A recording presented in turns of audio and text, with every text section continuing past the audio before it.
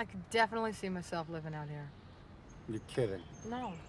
Husband, kids, white picket fence. Important day. Well, not me. I could bake and grow things in the garden, work on committees. Is your clock ticking again? Never stops.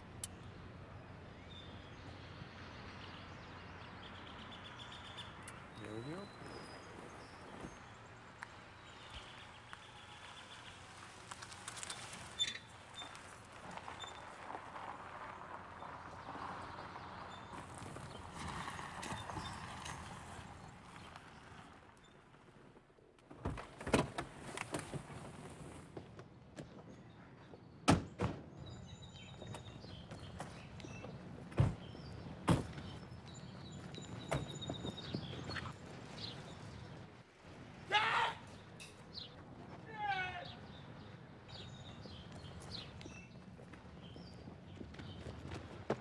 NYPD!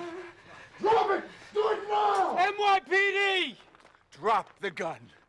I said drop it. Wait, wait, we're cops! We're cops! I don't give a damn. Drop it or I'll drop you.